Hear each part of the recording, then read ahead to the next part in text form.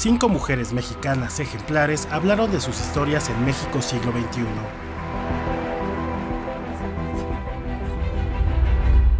Una de ellas fue Elena Reigadas, la mejor chef del mundo, que se enfrentó a los tabús de la maternidad.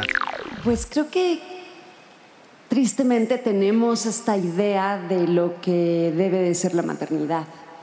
Y tenemos muchas veces, em, no solo es una idea, es una realidad, ¿no? Como, como mm, prácticas establecidas de que las madres somos las que tenemos que estar encargados de los hijos y de las labores domésticas. Y yo creo que eso se tendría que compartir, se tendría que compartir con la pareja. Paola Longoria, la raquetbolista más ganadora de la historia, denunció diferencias con los hombres.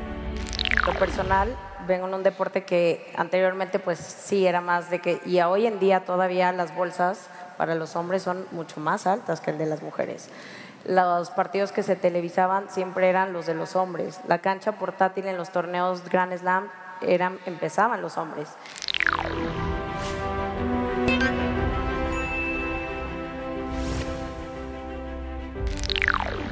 Nuria Diosdado, máxima medallista centroamericana, se enfrentó a la falta de visibilidad de la natación artística en los últimos años pues ha sido mucho más vista, la hemos posicionado en los primeros lugares mundiales y al final eso ayuda a que la gente lo conozca. Antes simplemente decía cuál era mi deporte y nadie sabía, tenía que decir las que nadamos, las que bailamos en el agua, ¿no? Pero al final, eh, fíjate que nos pasa mucho que a veces se menosprecia el deporte, si no hay como esta parte de de sudor, de, no sé, un deporte en el que ves la garra. Aquí es estética, es fuerza, es gracia, pero es un deporte complejísimo. Diana Flores, jugadora de flag football en la NFL y campeona del mundo, contó todas las barreras que tuvo que romper durante mucho tiempo fue esta lucha constante también con todos estos nos. No, no es un deporte para niñas. No, estás muy chiquita para jugar. No, no eres lo suficientemente alta, no eres lo suficientemente fuerte. Eh, no puedes competir contra niños porque son mejores que tú, simplemente por el hecho de ser mujer, ¿no? Katia Chazarreta, la primera mexicana en ir al espacio, pidió más oportunidades para las mujeres. Yo entiendo que yo no soy la única con sueños.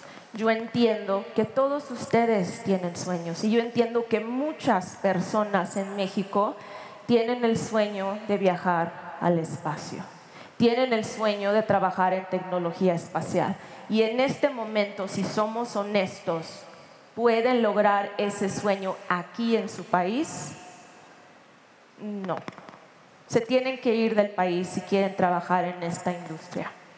Así que hace un año yo decidí que sí, soñar en grande es importante, pero soñar en grande no sirve para nada si no tenemos las oportunidades necesarias para poder lograr ese sueño. Las mujeres inspiradoras se llevaron los aplausos de 10.000 becarios de la Fundación Telmex Telcel en el Auditorio Nacional. Y este solo es el inicio, así que tenemos muchos planes para México. Uno TV